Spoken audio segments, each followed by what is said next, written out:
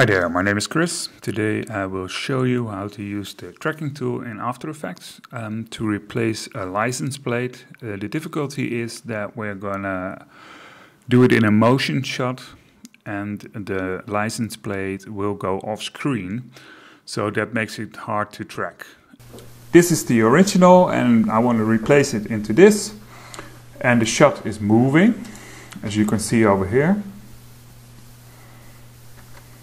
So um, this is uh, yeah this is the shot we're gonna track. So first I'm gonna gonna cut out the part we're using.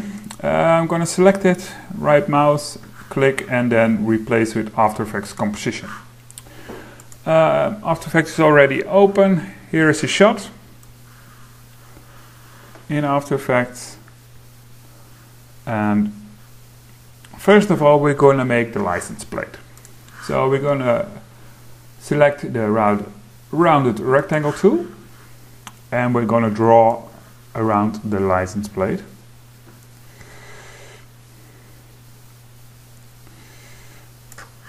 And we're going to make give it another color. There, where is it? Over here. And with the picker, I'm gonna select a dark color. Not all the way black, but quite dark. Okay, uh, scrolling the mouse you can zoom in and holding the spacebar you can drag, uh, drag it around. As you can see, there's some yellow spilling out, so I'm just gonna make it a little bigger. using uh, the V tool, I can select a point and just drag it a bit bigger. Okay. The thing is, uh, you could better make it a little bigger so it overlaps the whole license plate so then you don't see any spillage. Okay, then I'm gonna select the logo which I have imported and I'm going to drag it on top. Zoom out a bit, it's much too big, so I'm going to scale it down.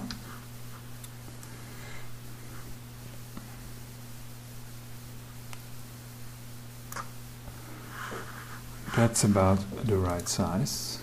And I'm going to put it over there. Make it a little, little smaller. 30% is nice. So uh, with the pick whip, I'm going to parent it to the shape layer tool, which I'm going to rename into license plate. So, okay, this is now done. As you can see, looks good, but the problem is, I'm going to set a marker over here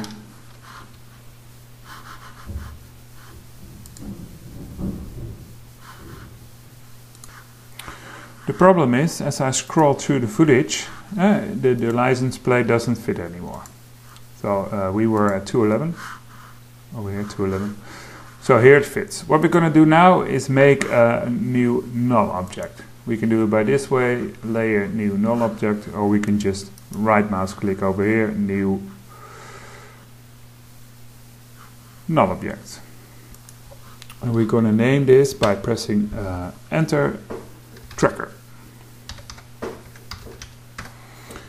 Okay, with uh, the video clip selected, we're going to go to the tracker uh, window, which is over here. And if you don't have it, you can find it on the window. And there it is, track.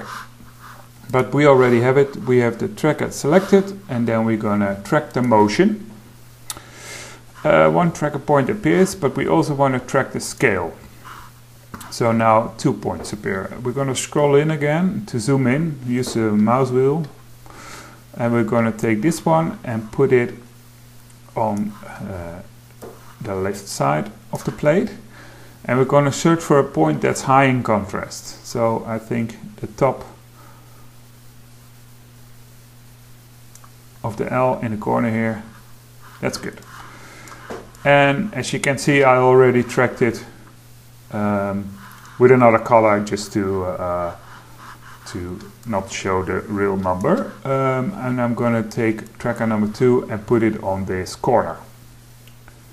Uh, normally there would be black uh, uh, digits underneath and you can track them really easy. But this one is also good. So we're now at the end, the, the points are good and uh, you can now track these points by taking steps.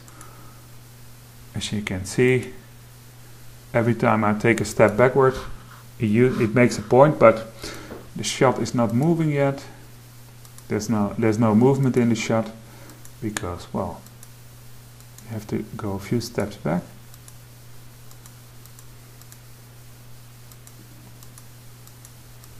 And the movement starts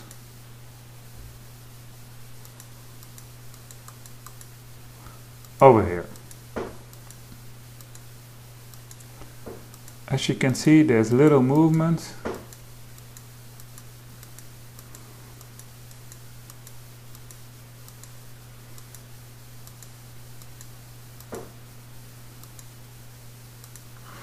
And if we zoom in you can see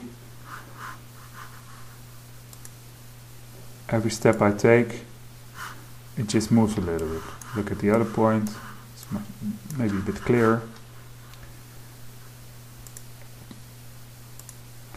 but if you think this is really a good uh, this is a really good contrast point you can also press the play back button and then it will just go uh, quick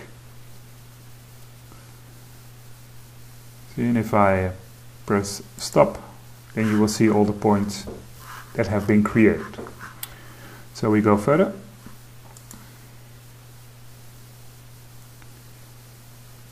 But now a problem occurs be because uh, the license plate goes off the screen and of course it's not in view anymore.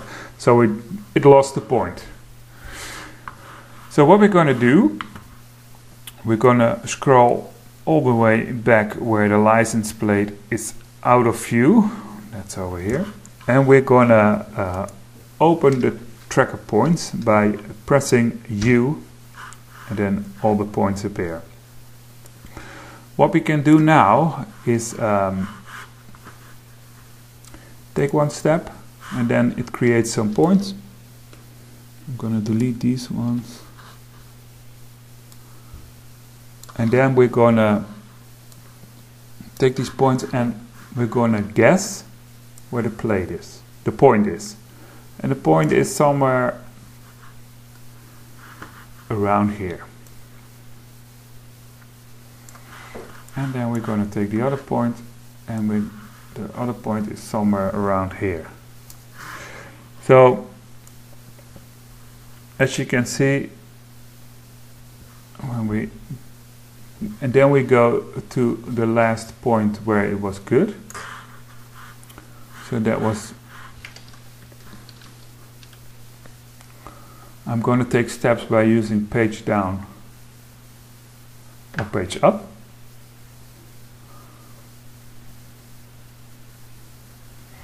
And what I'm going to do now is going to delete all these points. And as you can see this one is looking good but the other one is, is not good. But it comes I'm gonna zoom in again.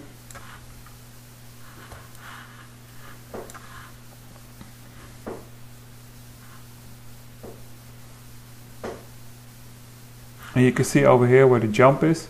Here it's good. So this is tracker 2 tracker 2 I'm gonna delete all these points. Because it's a linear movement in this shot. So I, when I go here, you can see, and I can see it over here. So what I do is take this point,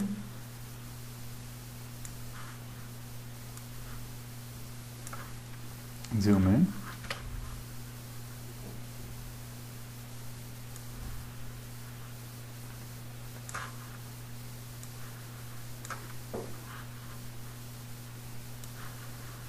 and I'm going to put it manually on this point.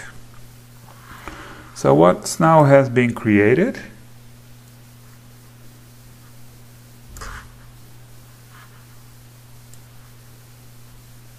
and if you have like the real uh, black uh, digits then it will stay good but I'm going to show you when it's not always uh, easy.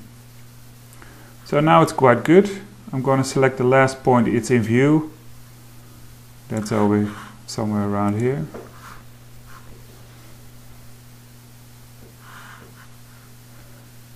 I'm to put it over there.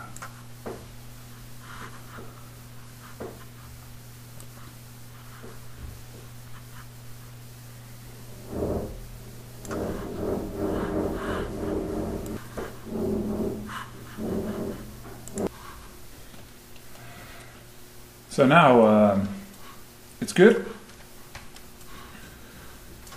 And we go to the other point and have a look.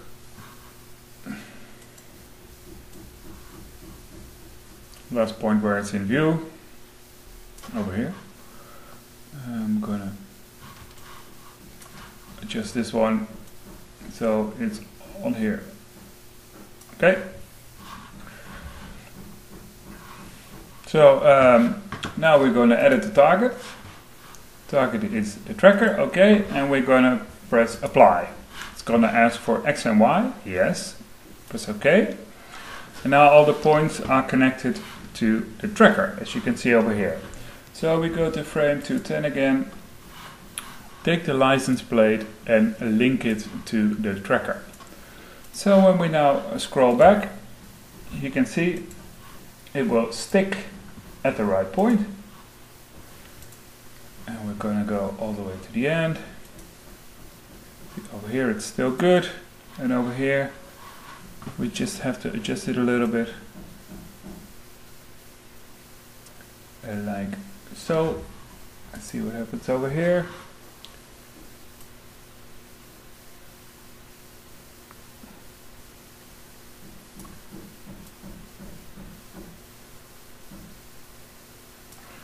Make the scale a bit bigger.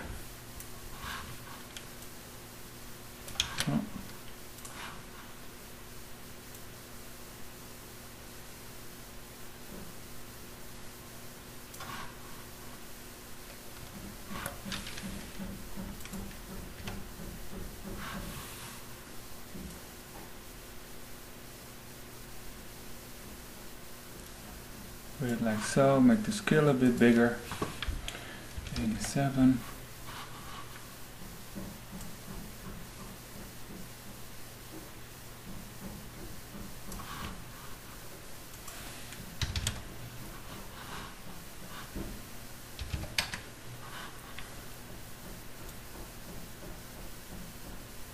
like so and when we go to the last point